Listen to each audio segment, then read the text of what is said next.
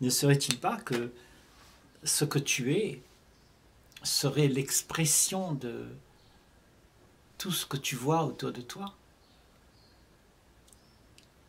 La vie se meut en soi. Tout se passe en soi. La source se passe en soi. Donc, ce que tu vois dans le monde ne serait-il pas le reflet de tout ce que tu es? Les arbres, les oiseaux, l'eau, le ciel, tout ça, c'est l'expression de toi-même. Mais nous ne savons pas l'exprimer. Parce que nous sommes identifiés à autre chose que ça.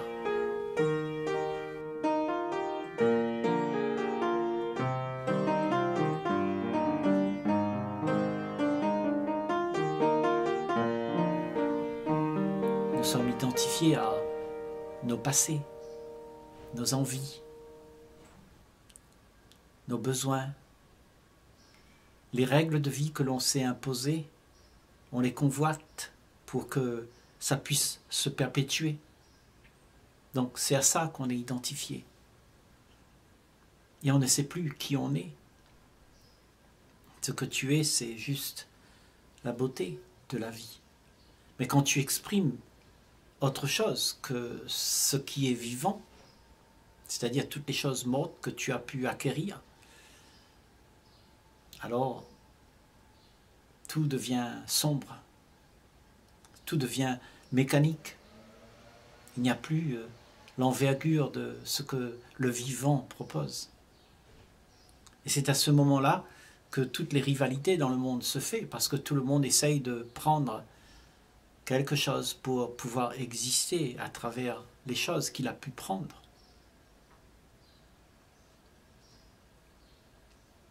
Mais tu existes non pas comme cela, mais tu existes à travers tout. Si tu te limites à quelques petites affaires que tu as pu récupérer, alors tu vas être limité. Tout ce que tu vas faire, les actions que tu vas faire, la vie que tu vas mener sera réduite à des bords, des limites. Et tu vas devoir toujours prendre plus pour pouvoir euh, être libéré de ce que tu as connu déjà. Donc, cette quête pour euh, la liberté, elle est installée dans ce que nous sommes. Nous, sommes prisonniers de ce monde et en fait, nous cherchons la liberté. Nous cherchons quelque chose qui pourra nous sortir de là. Et pourquoi on en est arrivé à là? C'est toute la question qu'on devrait se poser, chacun d'entre nous. Mais aujourd'hui, dans nos sociétés, on ne se pose pas beaucoup de questions. Pour la plupart, on dit c'est fatigant. Je ne veux pas me casser la tête avec toutes ces questions. Donc on préfère ne rien faire et puis continuer à couler avec le courant de tout ce qui se joue. Donc on est tout le temps euh, embarqué. Et en fait, nous sommes des robots. des robots à exécuter euh, ce qui doit être vécu. Mais ce qui doit être vécu, ça vient de quelque part quand même. Qu'est-ce qui doit être vécu? Qui a dit que c'était ce qu'il fallait faire pour vivre? N'est-ce pas? Les expériences du passé nous ont dicté comment on devrait réagir aux événements. Donc nous sommes un paquet de mémoire. Nous sommes le passé et le passé réagit pour pouvoir euh, mettre en place les références qu'il a. Et ces références sont justement euh, tout le problème de nos sociétés qui marchent euh, sur les, les histoires d'hier. Et on répète tout le temps, toute notre vie, on répète tout le temps le passé. Donc, qui a dit que ça devrait être comme ça? C'est toute la conclusion que nous avons fait. Parce que nous avons fait des conclusions. Nous avons dit ça c'est agréable et donc on a voulu le garder. C'est pour ça qu'on dit que ça devrait être comme ça. Parce que on ne veut pas être face à ce qui est immense. Parce que ce qui est immense euh, n'a pas de bord, n'a pas de limite. Et en fait, toi, tu veux te créer ces limites. Les limites euh, d'une petite vie bien rangée, en sécurité. Parce que c'est comme ça qu'on trouve la sécurité, en se donnant des limites. Or, la liberté, c'est au-delà de tout ce que tu peux savoir, de tout ce que tu peux acquérir, de toute la perception que tu as, il y a toujours quelque chose de neuf à aller visiter, à aller explorer. Mais si tu as vu et puis tu dis ah ça c'est bien, ben je vais garder ça et je vais euh, me reposer là-dessus, m'appuyer là-dessus, alors tu vas entrer dans ce qu'on appelle la stagnation, c'est-à-dire l'habitude et les trains-trains. Et tu trouveras là une zone de confort parce que, en fait, tu trouves là-dedans une sécurité qui fait valoir, en fait, euh, euh, tout ce que tu connais. Et donc, on aime bien cette idée de savoir euh, pour pouvoir euh, avoir de la sécurité. Donc euh, on, lit des livres, on, apprend beaucoup de choses, et puis on les garde, on les cumule. Et quand tu as cumulé, tu dis j'ai un diplôme. Et quand tu as un diplôme, tu dis je connais. Mais en fait, personne ne sait rien finalement. Au, bout de tout ça, même Einstein, il était obligé d'admettre qu'il y avait quelque chose qui n'a pas compris. Parce que euh, tout se passe dans une autre dimension, mais pas dans cette dimension où on se crée des limites, où on, prend les choses euh, comme une conclusion pour pouvoir avoir cette sécurité, justement. Parce que l'insécurité, l'ignorance nous fait peur. Donc on se donne de savoir, on se donne de, connaître euh, des choses. Euh, et avec ça, on pavane. on se montre euh, face au groupe comme quelqu'un qui est au-dessus de la mêlée. Et ça, c'est l'attitude de l'homme depuis très longtemps. C'est sa fierté, c'est ce comportement euh, de dire je suis arrivé. Mais quand il dit cela, en fait, il, n'est arrivé nulle part. Il se, il se leurre. Il se fait des illusions. Parce que justement, ce qu'il y a à voir, à explorer, est au-delà de la petite chose que tu as conclue. Donc, est-ce que tu peux voir que la vie n'est pas une conclusion, n'est pas donc tu peux dire, euh, euh, je suis arrivé à être euh, maître d'école, je suis arrivé à être président, je suis arrivé à me faire une fortune, et je suis arrivé à avoir beaucoup de connaissances parce que j'ai lu beaucoup de livres. Mais tout ça, ce n'est que du savoir, des informations que tu, que tu granges dans ta mémoire et en fait, euh, tout ça, ça se réitère tout le temps. Et c'est avec ça que tu te profiles une vie, une vie que tu dis être euh, la meilleure parce que euh, tu trouves là-dedans de la sécurité. Donc tu ne dépasses jamais les bords de tout ce que tu connais. Donc tu as peur de visiter ce qui est inconnu. Donc toute la vie elle-même n'est pas connue parce que tu vis la vie que tu crois savoir. Mais la vie est celle que tu ne connais pas. La vie, c'est quelque chose qui est d'instant en instant neuf. Il y a toujours quelque chose à apprendre. Mais si tu te t'encombres de ce que tu as gagné là, alors la vie sera pour toi quelque chose d'étrange, de mystérieux, parce que tu ne connais que le petit grain de sable euh, dans l'univers. Tu t'es identifié à un petit grain de sable dans l'univers. Et c'est ça le savoir de l'homme. L'humanité, c'est un petit grain de sable dans le, dans le désert. Mais il ne sait pas que toute l'immensité est à découvrir. Si tu t'es identifié à un petit grain de sable, tu vas regarder le monde à travers ce que tu connais. Et en fait, tu vas croire que ce que tu es là, c'est l'ultime, c'est le, but à atteindre, c'est ça. C'est d'être un beau grain de sable. Hein? Mais tu vois, si tu sors de ça, si tu comprends que ça, c'est pas ce que tu es, alors tu vas voir au-delà du grain de sable, tu vas sortir de ça et tu vas voir que tu es la plage. Tu es le désert rempli de sable. Nous sommes quelque chose d'immense. Mais tu vois, la peur nous empêche d'aller voir au-delà pour pouvoir explorer la merveille que l'immensité nous propose. Et cette merveille, c'est une perception au-delà de tout ce que tu peux proposer, tout ce que la pensée peut proposer, tout ce que tu as acquis ne peut pas comprendre ce qui est immense, ce qui est infini.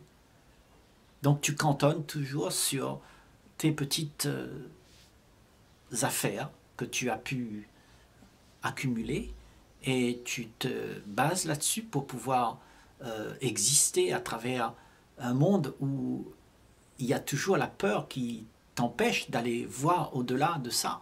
Donc tu te terres dans ta bulle, tu t'isoles là-dedans. Et pour la plupart d'entre nous, c'est ce qu'on fait. Et on appelle ça l'individualisme. C'est toujours se cantonner dans nos petites affaires pour pouvoir être en sécurité. Pour ne pas voir qu'il y a quelque chose qui est grand et qu'on doit en fait laisser ce qu'on a acquis. Parce que l'acquis, tu vas devoir l'abandonner si tu veux aller explorer. L'exploration de, la vie, c'est justement c'est d'abandonner, de détacher, d'aller au-delà, de lâcher, le lâcher prise pour voir euh, ce qu'il y a au-delà de tes peurs, au-delà de ton envie de sécurité, au-delà de ton envie de bien-être. Parce que le bien-être que tu as, c'est quelque chose que tu as récupéré comme étant quelque chose de sécurisant. Donc tu, tu jouis de ça et tu veux toujours en avoir. Et en fait, jamais tu en as assez parce qu'à chaque instant, euh, ce, ce, ce bien-être est dérangé par le nouveau, parce qu'il y a de nouveau. Donc tu n'arrives jamais à avoir cette paix terrible qu'il y a quand tu abandonnes tout. C'est seulement quand tu abandonnes tout que tu connais, tout ce que tu connais, que s'ouvre à toi quelque chose qui est immense. Mais est-ce qu'on veut faire ça? Parce que tu vois, cette peur qui nous empêche de faire ça, ça nous coince dans nos carcans on est sur des rails. Et ces rails, c'est, on, y tient. C'est notre euh, joujou pour traverser l'existence. Alors qu'il n'y a pas de chemin pour traverser l'existence. C'est un cheminement qui demande de, la liberté pour pouvoir explorer euh, au-delà des frontières de ce que tu connais. Et, et toute cette expérience de sortir de son connu fait que tu vis euh, une, autre façon de voir les choses qui, qui se font comme d'habitude. Tu ne fais plus les choses comme d'habitude. Tu es unique à ce moment-là. Parce que ton exploration, ton émerveillement est propre à ce que tu expérience dans le lâcher-prise. Et le lâcher-prise te propose quelque chose d'immense. Et nous avons tous besoin d'aller dans cette direction pour pouvoir être joyeux, pour pouvoir être libéré de, cette, de ce petit grain de sable dans lequel tu habites et que tu t'es identifié dedans. Parce que tu ne vois la vie que à travers ce grain de sable. Tu dis, moi, je suis comme ça, je suis ceci, je suis cela. Et, et tout ça, c'est limité. Ça te limite. Parce que tu n'es pas cela. Tu es beaucoup, beaucoup plus grand que ça. Tout l'univers, c'est ce que tu es. Donc, euh, ta perception est rivée sur euh, une, une petitesse de la vie. Alors que ta perception, si tu la laisses aller, eh ben, tu découvres que tu peux voir le tout. Et le tout tu vois n'est pas séparé. Parce que ce que tu vois, alors, tu réalises que tu étais dans une illusion. L'illusion de croire que le petit grain de sable n'était pas connecté avec rien d'autre que le petit grain de sable. Mais tu es tout des grains de sable. Et quand tu sais ça, alors toute action, tout ce que tu fais n'a plus la même signification, n'a plus le même sens. Parce qu'avant, tu te protégeais de tous les autres grains de sable, parce que tu voulais te faire valoir, tu voulais montrer que tu es quelqu'un. Mais en fait, ça, c'est l'attitude de celui qui veut garder euh, sa petite vie, qui a peur de sortir de là. Mais une fois que tu es sorti de là, alors tu, tu es le tout. Et, tu, embrasses le tout. Parce que le tout, c'est toi. Tu es tout ça. Et de pouvoir embrasser le tout sans renier que le tout est toi-même,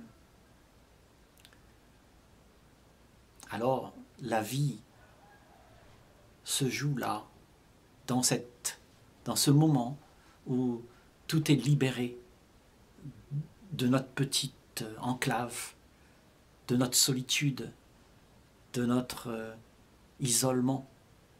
La bulle, c'est l'isolement que tu as. Donc, euh, aller au-delà de cette bulle pour trouver sur un chemin euh, commun la raison de vivre, la raison d'être. C'est la plus belle chose qui puisse nous être donnée à tous, de comprendre que nous sommes quelque chose d'immense, mais pas tout ce que tu t'es raconté, pas tout ce que tu te promets, c'est pas ce que tu es. Tout ce que tu te donnes de vivre, c'est justement euh, le courant de l'humanité qui t'a conditionné à voir les choses de cette manière.